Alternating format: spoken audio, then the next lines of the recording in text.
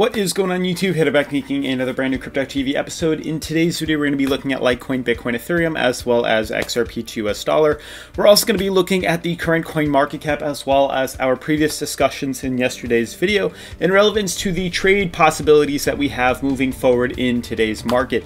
Now, uh, we will specifically be looking at the cryptocurrencies. As we know, just yesterday, we were actually shooting up, I believe, over 20% on most of the cryptocurrencies, which is absolutely amazing and we're kind of hitting a little rough patch right now, which really isn't that concerning to me, but I do want to discuss in depth as to where my worries are, where my confidence is, things like that. I know a bunch of you guys have questions. Otherwise, if you guys are new to the channel, definitely make sure to subscribe in this crazy market, turn on post notifications, leave a giant thumbs up, help that YouTube algorithm, and remember to follow me on Twitter at CryptoVOfficial. This way you guys can basically get an opportunity to talk to me one-on-one, -on -one, discuss your findings in the market, and, you know, everything under the sun. Um, otherwise, let's jump into today's episode.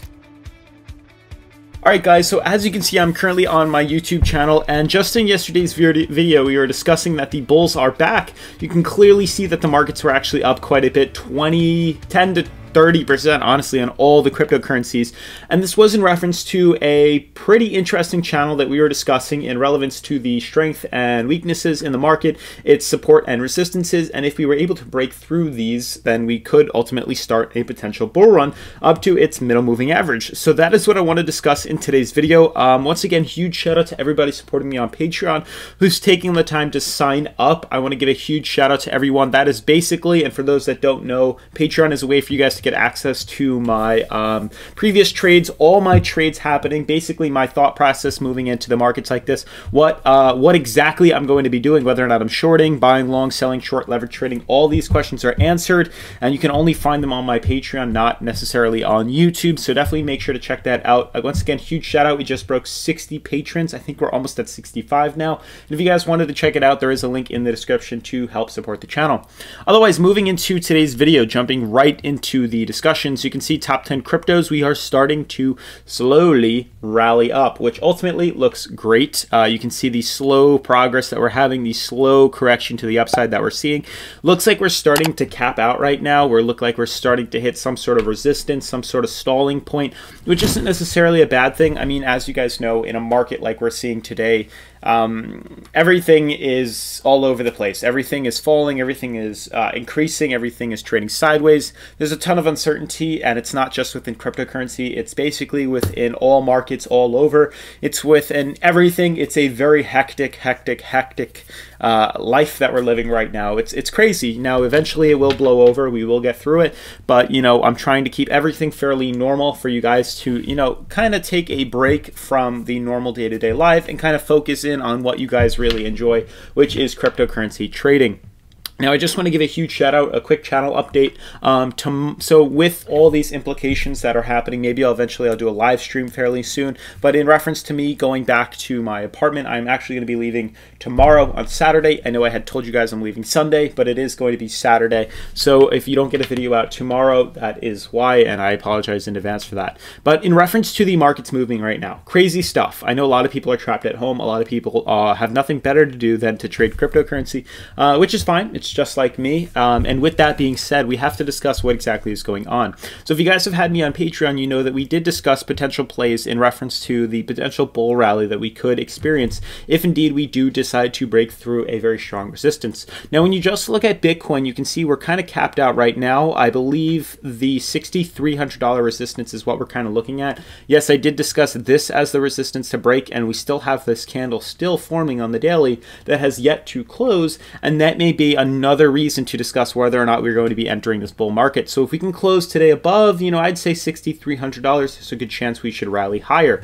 Now, specifically, I did mention what, what I'm doing on my Patreon down below, but what's giving me concerns, and this is why I like to use other cryptocurrencies, is when you look at Litecoin and some of the other cryptos that have uh, that are very relevant into Bitcoin's trading pattern, you can see that on Litecoin, we're once again also stuck below a resistance of $39. You can see we do have wicks that head up a little higher, but for the most part, as of right now, we are stuck below this previous resistance. So this is what I am assuming if we manage, and you can see in the past, there's really no resistances in between the $39 and I would say $49 resistance, there's a good chance if we can close above this resistance point right here on Litecoin, we should be able to rally all the way up to this level with very little uh, problems in between that. You can also see that we look like we're anticipating what appears to be a bullish cross on the MACD, which is great to see. You can see we have plenty of room on the um, relative strength indicators as well. So with that being said, it makes sense almost that we could have the potential to head up higher.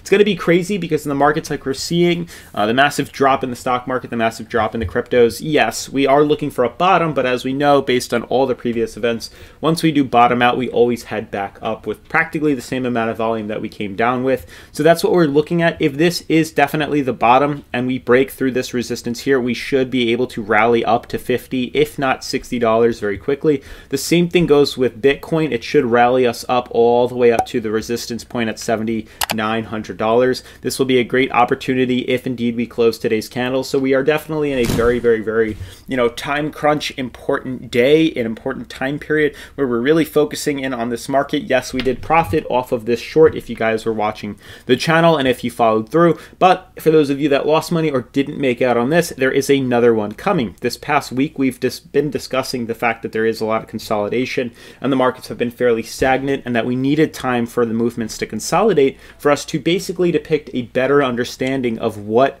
you know, technical analysis what you know indicators are starting to appear. And with that rose sideways consolidation very similar to what happened on litecoin before the rally downwards. So with this happening once again on bitcoin it was with my great understanding that there was volume to come to the market very quickly. This is that breakout that we had. This may just be the beginning of the rally upwards. We just merely need to see if we can close above i would say $6300 to be to be fair. Now to look at xrp and ethereum i know a lot of you guys guys are interested in XRP and come to the channel for XRP, I have no problems talking about this with you. Um, different than Litecoin, Bitcoin, and Ethereum, we're going to look at XRP on the weekly for right now no real reason just yet to discuss the daily but you know when you look at um, xrp yes we're in a very interesting spot. We do have a bearish cross on the macd we did bottom off the rsi which gives me reason to believe we could be heading up. And if things do go according to plan we should be bouncing off this bottom support right here. You can see if i just scroll out that even back in 2017 2018 this was a resistance. You can see we have clear wicks above here but for the most part we closed below it. Even back in 2019, where we had this retest, this was a very strong retestment where we ended up breaking below it. Just only now in 2020 were we able to build up the volume to break outside of the resistance, where we ultimately all anticipated movements up to the 33 and in between the 78 cent um, support areas in between these moving averages. And unfortunately, we, we got rejected from this resistance, this green band right here, and we actually fell. So indeed, we did retest the 36 cents or 33 cent resistance that we had there, but we immediately corrected lower. The great thing is we have yet to break below this resistance. If indeed we do break below this, there's a very good chance we'll be seeing some very, very, very unfortunate um, all-time lows for XRP. The great news is we haven't yet. We've actually had some very strong wicks that are pulling us back up. And with that being said, there's a great chance that we could hold this support and actually correct back to some pretty nice levels on the coins. So very interesting the way the markets are trading, very interesting the way crypto is trading. You can even see on Ethereum right here that Ethereum looks to be trading sideways. It's also hitting its resistance. This is a bullish signal right now. Um, we have a Great cross on the RSI, but we do have a strong resistance at 138 right here. So if indeed we get enough volume into the market and we can break through here, it'll be a very quick jump all the way up to 190. So there's a lot of things riding on this coin breaking bullish. Now, um, for those of you that are still waiting on my call, hold out just a little longer. You can put in a limit order closer to 63 to 6500 dollars. I'll update you specifically on my patreon very soon. Um, i think i even put one out this morning or yesterday. And then lastly for DueDEX this is you know the websites that we use all the time. Now this does not like to load for me specifically on google chrome. I notice it's not my wi-fi just chrome. I think i need to refresh the browser and then it will come back because i can do it on safari you know no problem. But as of right now on DueDEX i am we got rejected from what appears to be closer to 6800 $200. Absolutely wild that on DueDEX we went this high.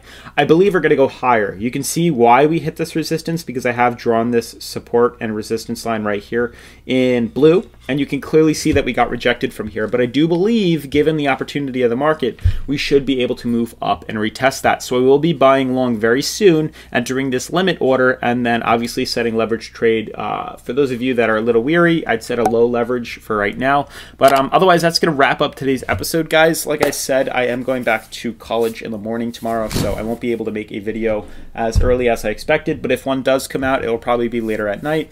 And, um, you know, wish you guys the best. Stay strong this will pass. I know that um, at least my generation, and I know a lot of other generations, we are a very um, closely knit uh, community all over the U.S. I mean, all over the world at this point, and things come on very quickly, very rapidly, and very harsh, but they don't stay long. And that's a great thing and a bad thing. Um, a lot of, you could say, influencers, a lot of people, uh, a lot of trends, a lot of you know businesses markets products services they come on very quickly very hard in our culture and they go away just as quickly i mean i could give you examples Silly Bandz the swagway uh, toys that people were riding around those two wheelers with speakers and lights you know we have this virus now there's a couple of other topics we could get into but you guys can see they come on very quickly and they go away just as quick and we just have to stick together you know uh, distance ourselves you know listen to what people are saying. They know more than us. We don't study this. And eventually things will pass and things will be back to normal. And um, yeah, so wish you guys well. Definitely leave some comments down below. Love to hear your opinion. And I will see you in uh, the next video. Peace.